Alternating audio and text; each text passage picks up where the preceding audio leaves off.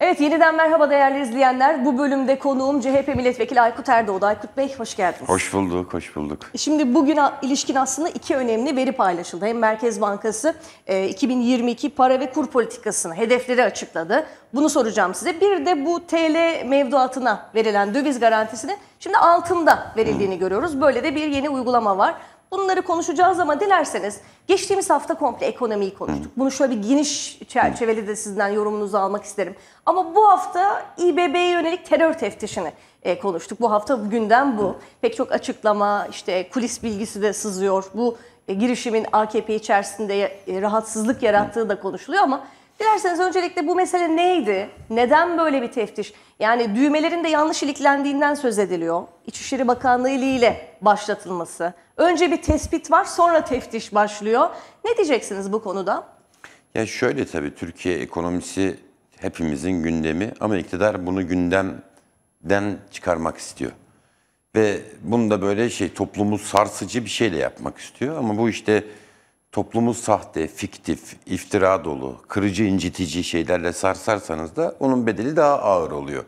Özetle söyledikleri şu, İstanbul Büyükşehir Belediyesi'nde terörist istihdam edildi. Yani teröristler işe alındı. Ekrem Başkan da çok masum, gayet net bir şey soruyor. Diyor ki ben almadan önce size sordum.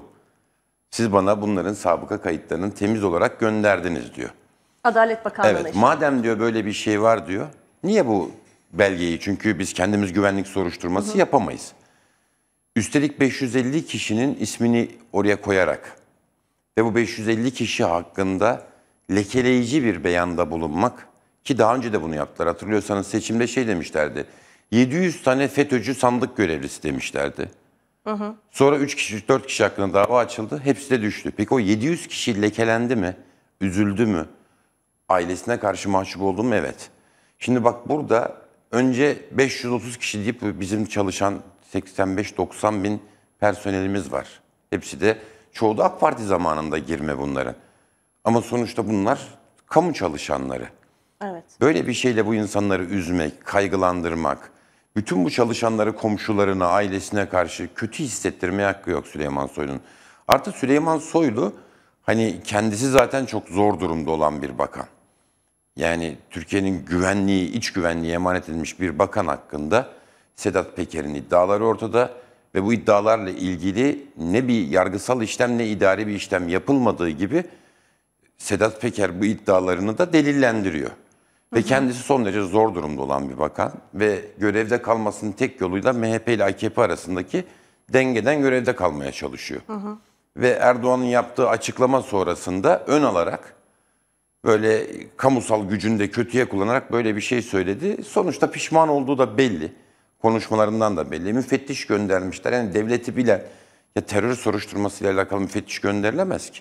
Şimdi müfettiş gelecek, belediyeyi teftiş edecek. Ya- bir şey başvuru kağıtlarını.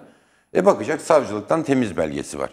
Nereden bilgi alabilir? Terörle mücadele şubesinden. Gidecek terörle mücadele şubesi dedi ki evet bunlar hakkında böyle bir bilgi var diyelim. E müfettiş gördüğü suçu haber vermek zorunda. Demeyecek mi madem böyle bir bilgi var.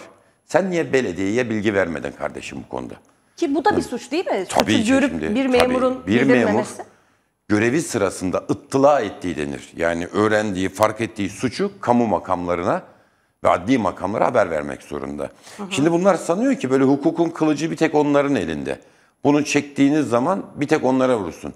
Kardeşim müfettiş gidip bunu görmediği zaman, müfettiş bunu görüp haber vermediği zaman yarın o müfettişe gidecekler. Sen gittin. Böyle bir şeyi gördün. Sen kamu adına denetçisin. Suçu haber verme yükümlülüğün var. Sen niye o emniyet yetkilileri hakkında gereğini yapmadın? Evet. Onun için böyle diyorum yani devlet kültürü yok, hukuk nosyonu yok. Şey de yok hani siyasi bir etik de yok. Böyle sürekli konuşuyorlar. Ülkeye yazık. Bunun aynı zamanda belediye başkanlarını kenetlediği ve AKP içerisinde e, bir krize, e, Soylu'nun bir krize dönüştüğü de belirtiliyor. Buna ilişkin yorumunuz ne olur acaba? Ya şöyle düşünün Cumhur ki, İttifakı içerisinde diyelim. şöyle düşünün. Ekrem Başkan'a yapılan Adana Belediye'mize de, Antalya Belediye'mize de, hatta kendi belediyelerine yaptılar. Balıkesir'e, Ankara'ya, İstanbul'a bilmem neye.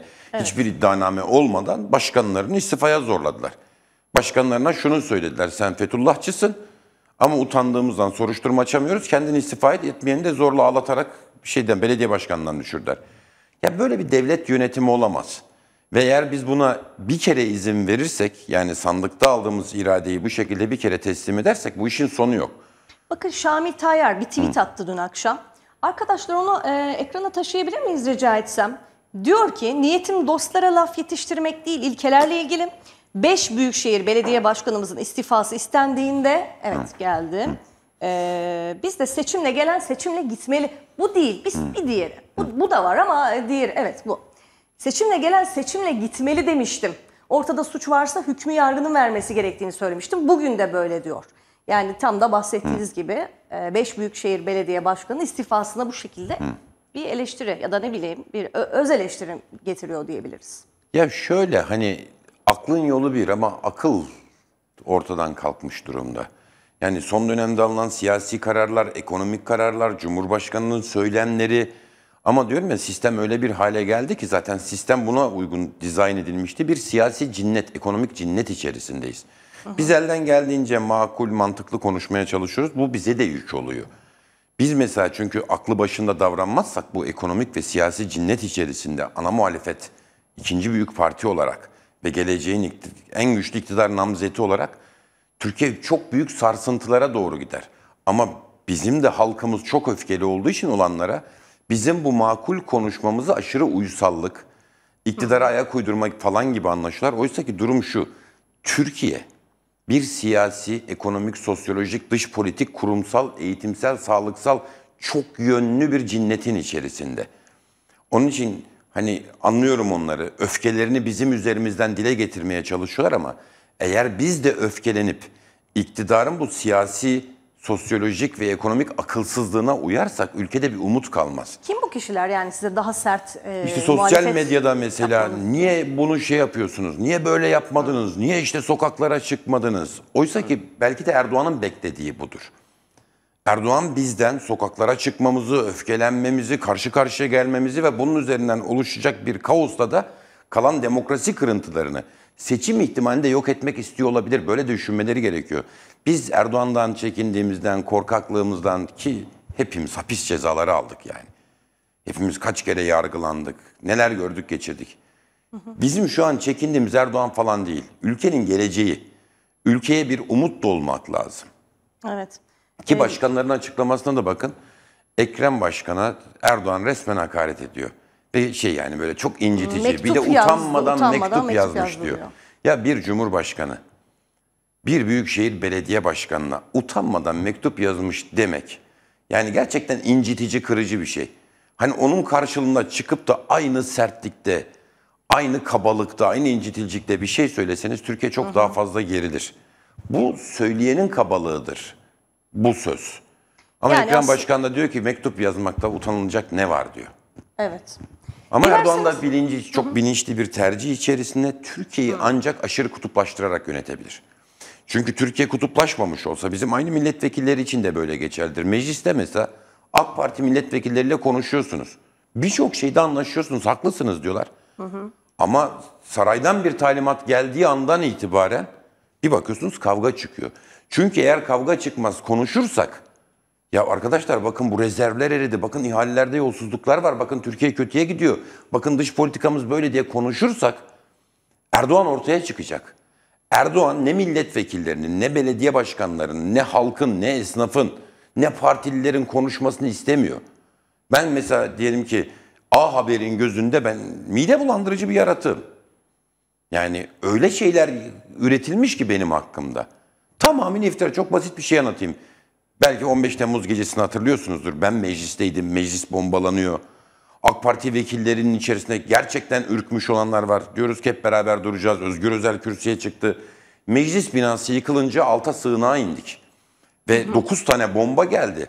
Bina sallanıyor. Yukarıdan yani nefes alamıyorsunuz. İçerisi çünkü beton yıkıldıkça tozla doluyor. Ve o sırada zafer işareti yaptık. Biz darbecilere karşı zafer kazanacağız diye. Yanımda Çorum milletvekili var AK Parti'nin. O da zafer işareti yaptı. Fotoğrafı koyuyorlar. Onların Çorum milletvekili tanınan biri değil çok fazla Salim Bey ama beni tanıyorlar. Diyor ki şey sıçan gibi şeye girdi, e, sığınağa girdi, darbecilerle birlikte zafer işareti yaptı. Şimdi A Haber bunu verdiğinde karşıdaki A Haber tabanı da beni böyle biri sanıyor. Ve Erdoğan böyle sanılmasını istiyor. Oysa ki belki A Haber izleyenler de beni izlese ya diyecek ki belki sam- bizim taban gibi samimi bir çocuk, iyi bir adam. Tamam eksiği de olabilir, yanlış da olabilir ama bu duvarı koyarak benim sözümün hiçbir şekilde dinlenmemesine çalışıyor. Burada bu- da biraz da böyle bir şey adım var diyorsunuz Bütün arkasında. hareketlerde böyle bir adım var. Yani mesela kur yükseliyor. Çok büyük bir ekonomik hata var. Çok kötü kararlar var. Halk fakirleştirildi yani kötü az bir şeyden bahsetmiyorum. Bir gece içerisinde insanların bütün ömürleri boyunca biriktirdikleri servet yüzde otuz eridi. Bakın insanların yılları saatler içerisinde gitti. Korkunç bir zarar, korkunç bir kayıp. Eviniz yanmış 20 gibi. Aralık Tabii günü tabii, 20 Aralık kimileri belki kimilerinin yüzü güldü ama kimilerinin belki hayatı en dip seviyeye inmiş olabilir. Öyle değil mi? Ama işte bu bir kumarhane değil ki. Yani işte zar attığınızda biri kazansın, biri kaybetsin. Böyle ekonomi olmaz. Böyle şok edici kararlar, ani gelişmeler falan olmaz. Ekonomi makul, rasyonel beklentilerin olduğu bir yerdir. Ve onun gerçekleştiği zaman iyi bir ekonomi olur. Şimdi diyorum ya bunların hepsini kötü yönetince bunlar konuşulmasın diye bütün kötülükler dış güçlere sonra dış güçlerin yerli işbirlikçisi hain, terörist, vatan haini, şerefsiz, cibiliyetsiz bir sürü hakaretle de bütün muhalefete yükleniyor. Buradaki temel amaç ne? Benim yaptığım işler konuşulmasın. Karşıda bir düşman var diyor. Bu düşman gelecek sizin haşa kızlarınızın başını açacak, dininize zarar verecek, imanınıza zarar verecek. Bunlar vatan haini, bunlar terörist, bunlar ne falan filan dedikten sonra da insanlar gardı korkuyorlar. Ya karşıdakiler kim? Bunlar bize böyle şeyler yapabilirler mi deyip Erdoğan'ın ne yaptığına bakmıyorlar. Onun için toplumun kutuplaştırılması, ayrıştırılması, bölünmesi Erdoğan için çok bilinçli bir tercih. Ama kötülük ne? Biz Cumhuriyeti kurduğumuz yıllardan beri bir ulusal birlik yaratmak için. Çünkü bizim bir sürü etnik kimliğimiz var, mezhep kimliğimiz var, eğilimlerimiz var, meşreplerimiz var, bölgelerimiz var. Buradan bir ulus bilinci çıkarabilmek için 100 yıllık bir çabamız var. Hala hatta bazı yerlerde eksikliğimiz olduğu için iç çatışmalarımız var, kimlik geriliklerimiz var, mezhepsel geriliklerimiz var. Türkiye Cumhuriyeti Devleti entelejansiyasıyla, kurumlarıyla bunu aşmak için büyük bir çaba gösterdi. Ama Erdoğan kendi ekibinin saltanatını koruyabilmek amacıyla bu fay hatlarına dinamit döşüyor. Şimdi İşte şunu mesela son dönemde bakın ve son derece tutarsız. Bir dönem açılım sürecinde Abdullah Öcalan'ı kahraman gösteren insanlar şu gün aksanı Kürt olduğunu gösteren bütün vatandaşları terörist olarak gösteriyor. Oysa ki Cumhuriyet'in amacı neydi? Terör örgütünün amacı da aynı şey değil mi? Kürtleri Türklerden ayırmak. Erdoğan'ın amacı da benzer bir şekilde gitmiyor mu? Türkleri Kürtlerden ayırmak. Ya bu bizim ulusal birliğimize çok zarar verir. İnsanların birlikte yaşama iradesi ortadan kalkar. Oysa ki bizim aklı başında makul, ülkeyi seven, yurtsever insanların ne yapması gerekiyor? Bu gerginlikleri hafifletip hafifletip hafifletip bir süre sonra çatışmaları ortadan kaldırmamız gerekiyor.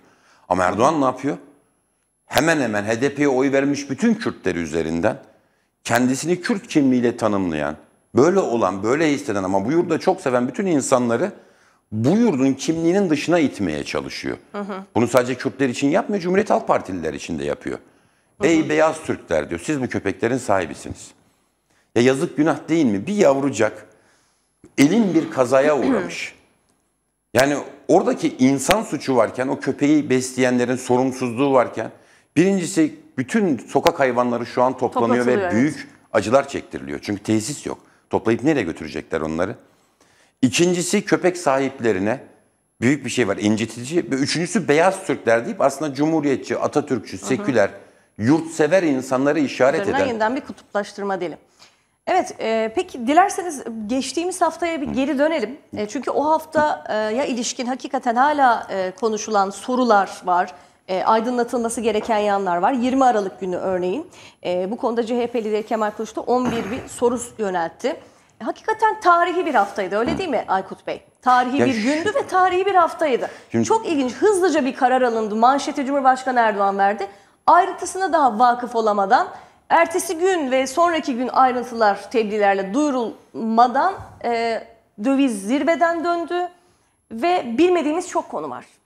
Şöyle bakın tarihi gün derken tarihi günler pozitif şeylerdir. Yani burası Türkiye Cumhuriyeti tarihinde böyle hatırlamamız gereken çok kötü şeyler yaşadık. Yani 20 Aralık günü bakın şunu unutmayın. Bir dükkana girdim Kadıköy'de. Nalbur. Diyor ki bu dükkan 1974 yılından beri burada. Bu dükkan 48 yaşında. Ve bu dükkanın bir gecede değeri %30 düştü Aykut Bey diyor. Bakın bu kadar 14-15 çalışanımız var. Ben kasada böyle pense satıyor, şey satıyor falan. Adama baktım adam çok haklı. Ya siz ilmik ilmik, kuruş kuruş, lira lira para biriktiriyorsunuz. Bu bir teyzenin 10 bin dolar birikimi olabilir. Evet. Bir nalburun dükkanındaki mallar olabilir. Tam o esnada evini satmıştır, Evet. baktı dolar yükseliyor. Ve Elimdeki bir anda paramı koruyayım diye bakıyorsunuz düşünen biri 12, de olur. 13, 14, 15, 16, 17, 18 tık tık tık her bir yılda bir artması gereken 1 lira kur yarım saatte bir kur 1 lira artıyor. Bugün de 1 lira arttı sabah Ya saatlerinde. işte o kadar kötü ki bakın. 1 bu- TL'lik saniyeler gün artış bakın, oldu. %5 iniyor, %5 çıkıyor. Birleştirdiğinizde %10 eder. Bir ticarette kazanacağınız, ben şu bardağı satın alsam, tamam mı? Bunu %30 karla satsam, vergisini çık, finansmanını çık, kırılanın düş, bilmem- net karım %10'dur. Ve bunu 6 ayda satsam, bir yılda satsam, siz bir gün içinde benim bundan planladığım karı yok ediyorsunuz. Sonra ben bu bardağı alıyorum 1 dolara. Satacağım değil mi? 1 dolara aldığımı 1,5 dolara satacağım. Ya arkadaş bunu 12 lira kurdan mı satsam, 18 liradan Hala mı satsam? devam ediyor değil mi? Oynaklık riski, kur, Ya döviz siz kurundaki. kendinizi tacir olarak düşünün bardak satıyorsunuz. Gittiniz toptancıdan aldınız. 10 liradan aldınız. Normalde ne yaparsınız? İyi bir dönem olsa 12-13 liradan verirsiniz değil mi? Ya arkadaş bir daha gittiğinde 18 liradan alacağını biliyorsan bunun üzerine ne fiyat koyarsın? 22 lira dersin. Evet. Sonra diyor ki gel gel ben diyor 12 lira indirdim. Abicim daha önce de indirmiştin ama bak ben bundan çok zarar ettim deyince de indirmiyor. Vay sen nasıl indirmezsin diye zabuta gidiyor vatan hainleri diyor niye indirmedin? Ya Şimdi arkadaş zaten fiyat- adam indirse daha çok satacak. Adam senden daha çok düşünüyor tacir onu. O bilmiyor mu ya bunu 22 liradan ayda 100 tane satıyorum. Ben bunu 12 liradan satsam 300 tane satacağım. Sen ondan daha mı iyi bileceksin? Adam bir şeyi bilerek yani bir şeyden korkarak kendi riskiyle bunu yapıyor. Ama sen gidiyorsun elinde sopa sat bakalım 12 liraya diyorsun. Ver o zaman sen bunun garantisini tekrar 12 liradan alacağıma satayım ben. Hani kur garantisi veriyorsan ya alım garantisi ver o zaman bana da. Ve hani öyle saçma sapan işler yapılıyor ki. Şimdi bunlar kendilerini çok özel, çok biricik, çok süper zeka, böyle dünyayı yönetecek şeyler falan görüyorlar. Ve bir ya arkadaş ama bir birikimin yok. Bir eğitimin yok. Hatta bir diploman bile yok. Ama süper bir egon var. Ben ekonomistim diyorsun diploman ortada değil. Ben naçizane ki partimiz böyle nitelikli, ben kendime nitelikli demiyorum ama muhalefet partileri, İyi Parti, biz, HDP hepsi nitelikli şeyler dolu. Bakın hazinede 15 yıl çalıştım ve buraya çok zor bir sınavla girdim. IMF'in, Dünya Bankası'nın ve Avrupa Birliği'nin tüm projelerinin Türkiye denetçiliğini yaptım. Amerika'nın en iyi okullarından biri. Kendi alanında benim okuduğum alanda dünyanın ilk 3 okulundan birinde yüksek lisans yaptım. İskoçya'da muhasebe ve denetim eğitimi yaptım. Ve ben aslında ekonomistim diyemiyorum. Ya ya bir şey eksik biliyorsam, ya bir şeyi tam doğru söyleyemezsem ama Sayın Cumhurbaşkanı çıkıyor ben ekonomistim diyor. Buna Dunning-Kruger sendromu deniliyor. Dunning-Kruger sendromu şu demek. Az bilen o kadar az biliyor ki tartışacak kadar bilgisi yok ya. Acaba şu yönü var mı? Ve bu az bilgisiyle o kadar cesur ki çok bilenleri hemen ikna edebiliyor. Ben ekonomistim diyebiliyor. Enflasyon, faiz enflasyonun sebebidir diyebiliyor. Ya tam tersidir. Enflasyon ağırlıklı faizin sebebidir. Bütün dünya bunu öğrenmiş. Hani iktisat dersine girdiğinizde enflasyon yükselirse faizler yükselir diye yazar. Adam çıkıyor bütün kitapların tam tersini söylüyor. Büyük bir cesaretle söylüyor. Şimdi 2022 yılının enflasyon beklentisi e, Merkez Bankası'nın arkadaşlar onu ekrana taşıyabilirsek. Merkez Bankası 2022 yılı hedeflerini açıkladı bugün. Burada bir baktık ki orta vadeli enflasyon hedefimiz %5. Bu 2022 değil. Düzeltelim çünkü hani diyorum ya. Orta vadeli dediği birkaç yıllık. 2022 değil yani orta vadeli. Tamam Bir siz beş yıl. bize Ha, açıklayın. ha. Mümkün mü? %5 enflasyona ne zaman ulaşırız? Yani orta vade neyi kastediyor? Şimdi şöyle bir şey. Merkez Bankası'nın bunu yapmamız için şunu yapmamız lazım. 2015 yılından itibaren Merkez Bankası'nın koyduğu hedefler gerçekleşmelere baktığınızda 5 dediği yıl 25 gerçekleşmiş. Bir kere bile son 5-10 yıldır Merkez Bankası hedef tutturamamış bir kerecik bile. Ve Merkez Bankası bana şunu söylüyor. Benim bir şirketim var. Ev alacağım, araba alacağım. Ya ne olur alsam mı almasam mı dediğimde ne olur bu dediğimde bakacağım ilk belge bu. Bununla birlikte orta vadeli plan. Şimdi bakıyorum orta vadeli enflasyon hedefi %5. Arkadaşlar devletimiz böyle dedi. %5'e göre hesap yapıyoruz dediğin an battın. Ya Çünkü düşünsenize böyle bir şey. devlet olabilir mi? %5 diyor %25 çıkıyor. Ben bütün kararlarımı %5'e göre aldım. Yatırım yaptım, mal stokladım, ev aldım. Ne bileyim gittim işte maaşımdan biriktirimle bir şey aldım. Bunlara güvenirsen iflas edersin. İşte tam kötü ekonomi yönetim bu. Öngörülebilirlik diyorsunuz ya. Ekonomi güvendir. Öngörülebiliktir. Hedeflerin tutmasıdır. Ya %5 diyen bir merkez bankası %50'ye çıkarıyorsa enflasyonu. Bir de daha kötüsü.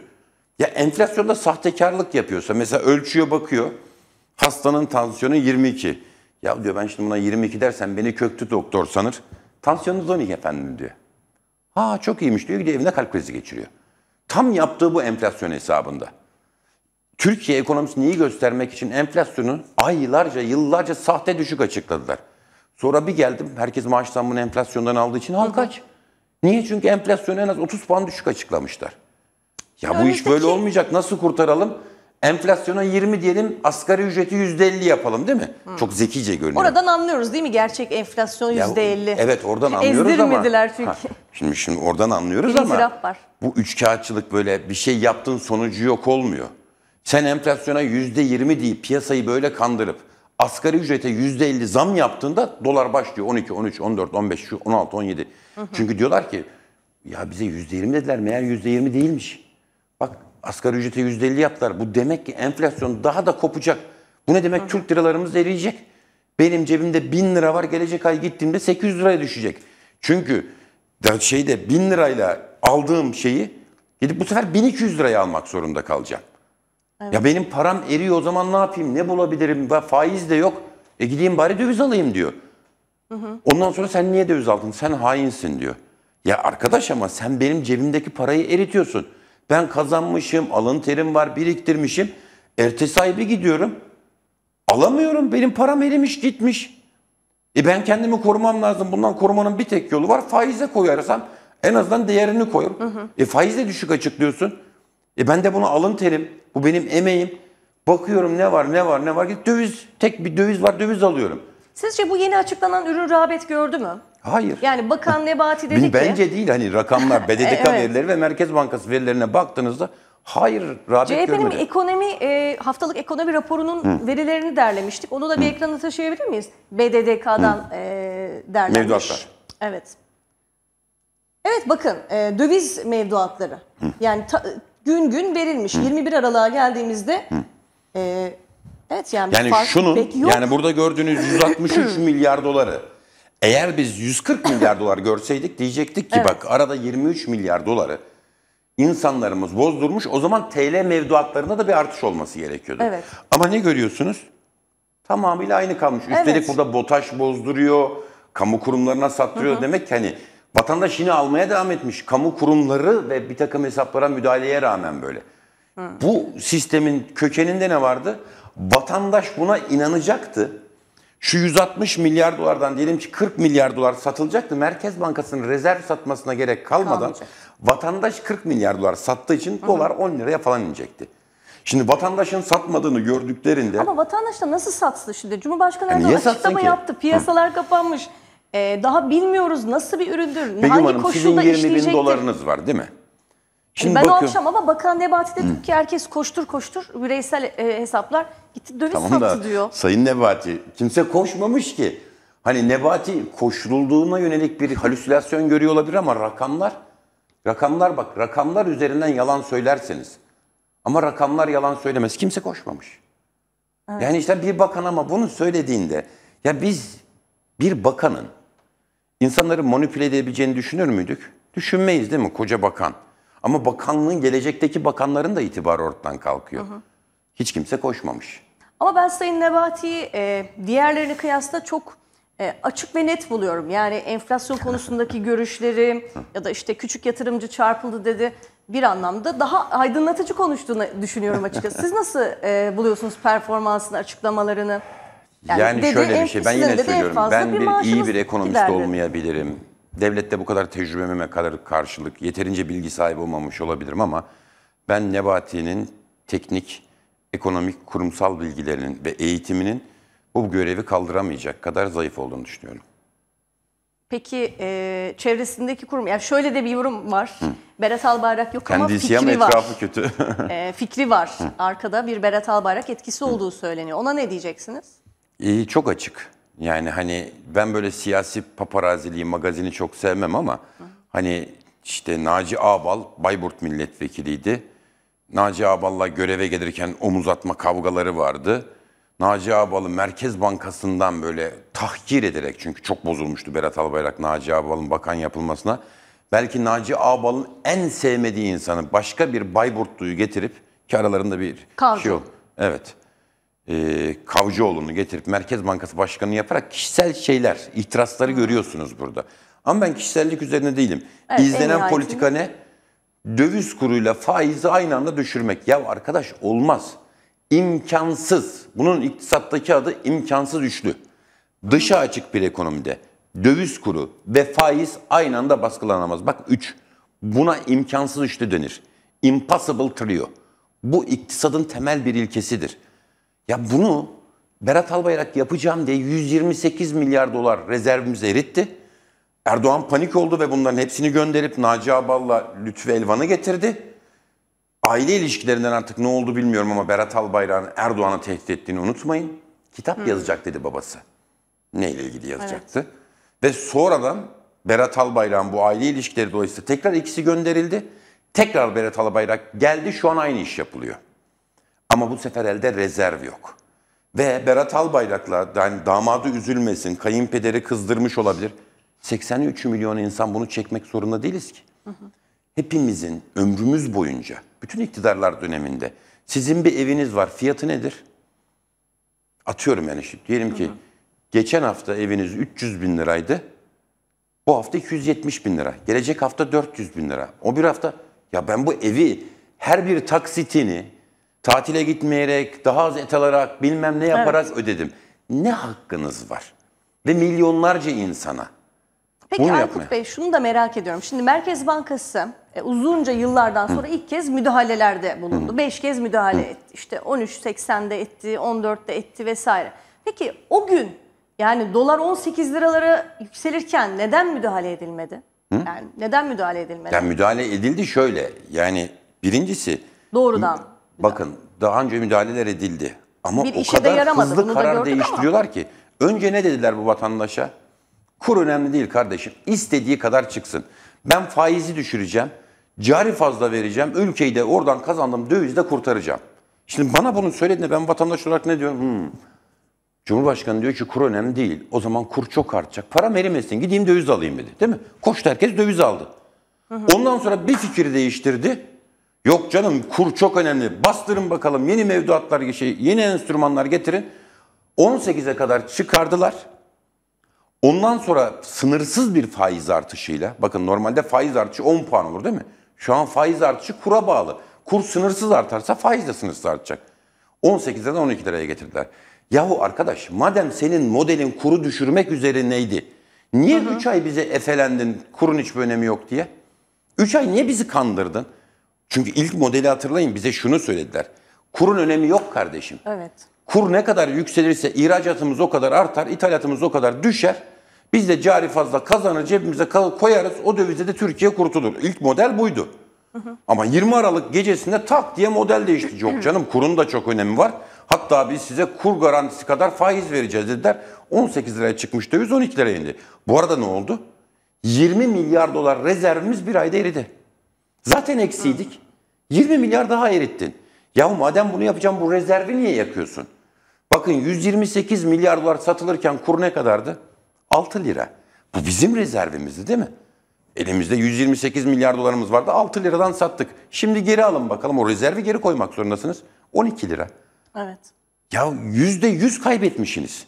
Bu milletin parası. Bu millet tekrar o rezervini almaya kalksa 6 liradan sattığın doları 12 liradan alacak. Ki kalırsa. Yani almaya başlasa zaten 30 liraya bile çıkar. Yazık günah değil mi bu insanlara? Bu bir milli servet değil mi sizin döviz rezervleriniz?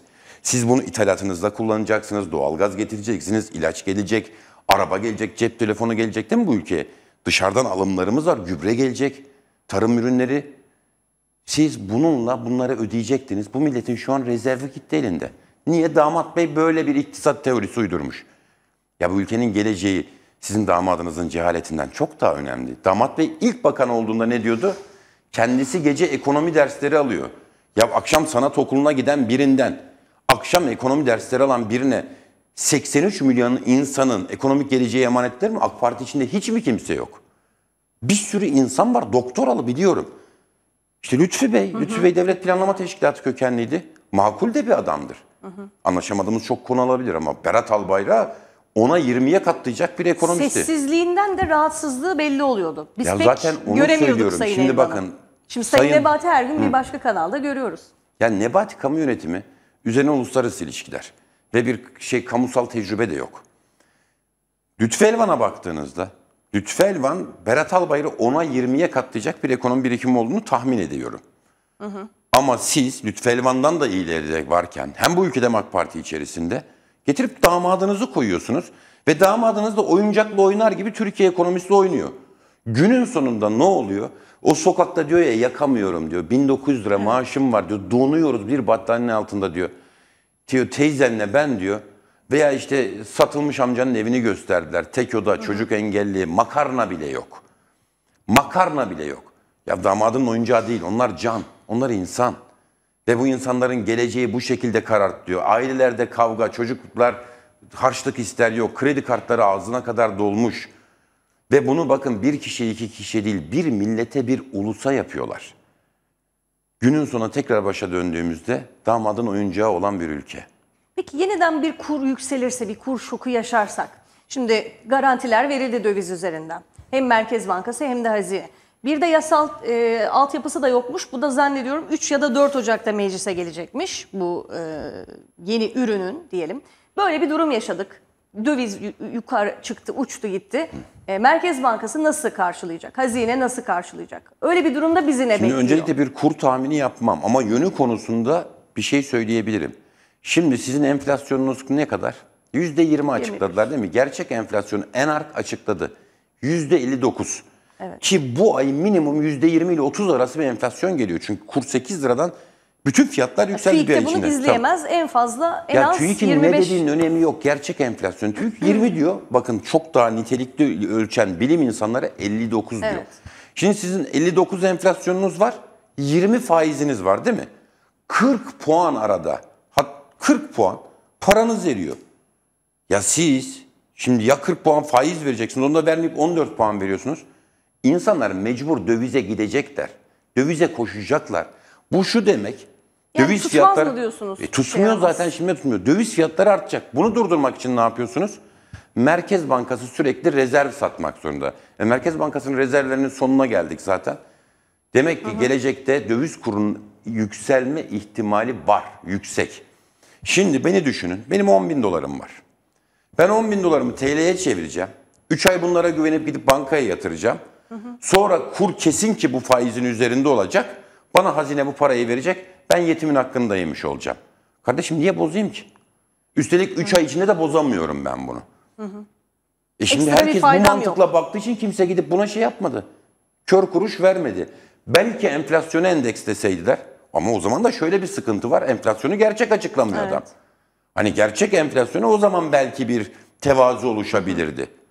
E olmayacağına göre, Merkez Bankası'nın rezervleri bitmiş olduğuna göre, Türkiye'nin Ocak-Şubat ayında bir sürü dış borç ödemesi olacağına göre ve artık Merkez Bankası bas bas paraları Leyla şeklinde de satamayacağına göre demek ki kur gelecekte yükselme ihtimali var. Bunun peki kur yükselirse ne olacak? Gerçi kimse bu hesaplara gitmedi ama gidenlerin hazine zararını karşılayacak. Bütçede ödeneği var mı? Düşün ki sizin aylık 100 lira masrafınız var. 100 lirada geliniz. Ucu ucuna gidiyorsunuz. Tak diye arabayı çarptınız. Ne olacak? Bunun Bütçede yeri yok. e, borçlanacaksınız demektir. Ek borçlanma. Onun da bir sürü iktisadi şeyi var uzatmayayım yani. Evet. Şimdi az bir zamanımız kaldı. 5 dakika. E, bu 5 dakika içerisinde hem bizi ne bekliyor? Yeni bir yıla giriyoruz. E, nasıl e, nasıl bir ekonomik tablo bizi bekliyor? Bir de fiyatlar düşecek mi? Herkes bunu merak ediyor etiketlerde. Çünkü bir yandan bir polisiye bir tedbirler alınıyor. İşte Cumhurbaşkanı Erdoğan konuştu. Ticaret Bakanı Mehmet Muş denetim yapacağız. Do- döviz düştü. E, etiketlerde düşecek denildi. Ama e, işte sanayici, esnaf, üretici diyor ki biz e, düşüremeyiz. Mümkünatı yok. Bugün e, şöyle notuma da hemen bakarak söyleyeyim. Süt Konseyi Başkanı demiş fiyatlarda indirim imkansız. Ne diyeceksiniz? Burada e, Önce ondan başlayayım. Maliyetler düşmeden fiyatlar düşmez. Bu hayatın akışına, doğasına aykırıdır. işte akaryakıtta Maliyetlerin bir düş- miktar düştü örneğin. Şimdi bakın bir miktar düşmedi. Bir miktar arttı. 8 liradan şu an 12,5 liradayız. Bu %50 artış demek zaten. 8 liradan 18 liradan %120 artış demekti zaten. Bunun için düşmedi, yükseldi. Üstelik büyük de bir korku oluşturdular. 18 lirayı görmüş dolar. Oradan bir sürü mal alan da var. 17'den, 16'dan, 15'ten. Bu adam bu zararını karşılayamaz. Onun için fiyatlar düşmeyecek. Fiyatların düşmemesi ne demek? enflasyonun hiper bir enflasyona gittiği. iki şeyden enflasyon olur. Bir arz enflasyonu maliyetler arttığı için kur arttıkça enflasyonun artıyorsa kur da artacak demektir. Maliyet enflasyondan geliyor. İkinci talep enflasyonu. Siz asgari ücretle birlikte herkese minimum %50 zam vermek zorundasınız. Eskiden aç bıraktığınız insanların o artık o fiyatla alım yapması gerekiyor. Bir de talepten enflasyon gelecek. Demek ki enflasyon katlanarak artmaya devam edecek. Önümüzde bir hiper enflasyon dönemi var. Enflasyon hiper olduğu zaman ne olacak? Kur yükselmeye başlayacak. Kurla birlikte yükselmesi gereken ne? Faiz. Çünkü enflasyonun altında bir faize kimseyi razı edemezsiniz. Para seriyor adamın. Siz bir de bunun üzerine faiz düşürmeye kalkarsanız kur çarpı olarak yükselmeye başlayacak. Ve kur yükseldikçe tekrar fiyatlar yükselecek, tekrar fiyatlar yükseldikçe bir sarmal diyoruz biz Evet. buna. Enflasyon devalüasyon sarmalı. İçe doğru döndüğümüzde bir süre sonra ne olacak Türkiye'de? Türkiye'de arz şokları yaşanacak. Mesela şeyde hatırlayın. Elektrik dükkanı 18 Aralık günü sayım nedeniyle kapalıyız diyor. Çünkü satamıyor. Fiyat almaya çalışıyorsun. Yok diyor. Niye? Çünkü ne istersen 3 katını ver. Bilmiyorum diyor. Bilemediğim için fiyat veremiyorum. Bu ekonomide şoklar olmaya başlayacak. Ve bir süre sonra bu maliyet enflasyonuyla birlikte piyasada ekmek olacak ama bir sürü insan ekmek alamayacak. Telefon olacak bir sürü insan telefon alamayacak. Ve bu ekonomik shrink etmek diyorlar. Küçülme, daralma. insanları aç bırakmaya başladığı zaman da sosyal patlamalar, bireysel olaylar, intiharlar, hırsızlık, fuhuş gibi artışlar olacak. Ve bir süre sonra insanlar yolda yürürken hiçbir siyasi eğilim olmayan insanlar tencerelere vurmaya başlayacak. Hükümet buna dış güçler deyip daha çok baskı kurmaya çalışacak. Daha çok baskı kurdukça ekonomi daha fazla küçülmeye başlayacak. Bütün bunların sonu hayra gitmiyor. Ben AK Partilileri samimice uyardım bana darbeci diyorlar. Dedim ki bakın aç kalmış toplumlar çok öfkeli olurlar. Sizden rica ediyorum tuttuğunuz yol yol değil. Gelin biz sizi uyarıyoruz bu şekilde gitmeyin. Bakın çok makul bir muhalefet milletvekili olarak kendi siyasi kaygımla değil ülke kaygısıyla bunu söylüyorum. Darbeci dediler bana. Bu darbeci yaftaları, ekonomistlere dava açmak hepsi bu ülkeyi kötüleştiren işler. Günün sonunda tek bir kurtuluşumuz var. Erken seçim. Çünkü biz döviz kuru bizim için sonuç. Sebepler Türkiye'deki sistem sorunu, rejim sorunu, hukuk sorunu, kanun önünde eşitlik sorunu, eğitim sorunu, dış politika sorunu. Ve bu hükümetin bunu çözme şansı yok. En basit son bir şey söyleyeyim. Şeffaflık olmadan bir ülkenin ekonomisi kalkınamaz. E şeffaflık olsa yolsuzlukları çıkacak. Nasıl yapsınlar? Onun için gitmeleri gerekiyor. Çok kısa, çok zamanımda kalmadı ama ekonomi masası kuruldu. E değil mi? Zannet dört parti zannediyorum değil mi Evet. ekonomi masası? Şimdi gündem bu olduğu için vatandaşa ne sunacaksınız, ne zaman sunacaksınız artık? Ekonomi için ne vaat Ya edeceksiniz? zaten hani birçok çözümlerimiz hani karşılıklı konuşmalar zaten birbirimizi izliyoruz. Ortaklaşmış bir şey var. En hızlı uygulanacak yöntemler belirlenip bir metin halinde açıklanacaktır. Peki çok teşekkür ediyorum teşekkür Aykut Bey. ederim. Ayağınıza sağlık. Teşekkürler.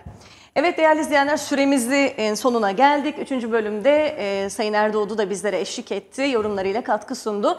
E, bizi izlediğiniz için teşekkür ediyorum. Yayında ve yapımda emeği geçen arkadaşlarıma da teşekkür ederek veda ediyorum. Hoşçakalın.